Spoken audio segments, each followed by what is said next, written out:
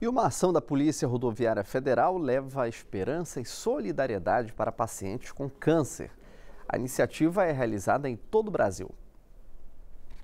A ação fez parte da campanha Policiais contra o Câncer Infantil que a gente vem para cá, a gente vive essa, essa de colaboração, solidariedade, de doação para as crianças. Só que ao a gente perceber que a gente está contribuindo para que elas vençam a luta contra o câncer, a luta pela vida, a gente se sente tão bem e quem sai daqui presenteado somos nós. De acordo com o Instituto Nacional do Câncer, as chances de cura chegam a 90% quando a doença é diagnosticada no início. Por isso, é importante realizar alguns exames para detectar o câncer o mais precocemente possível. Essa ação ela traz sim né, um, um cunho solidário Estamos mobilizando a arrecadação de alimentos, de doação de sangue, de brinquedos para contemplar as casas que prestam apoio ao nosso paciente oncológico, mas acima de tudo ela tra traz o alerta à sociedade e a conscientização sobre o diagnóstico precoce. Durante a programação, uma surpresa que emocionou a todos. A paciente Williane, com câncer há seis anos, recebeu o diagnóstico de cura. Quero agradecer, em primeiro lugar, a Deus pela minha vida, pelo dom de estar viva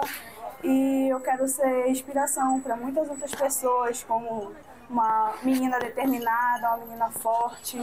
E eu quero agradecer a todos do hospital é, por ter me dado todo esse apoio durante seis anos de tratamento.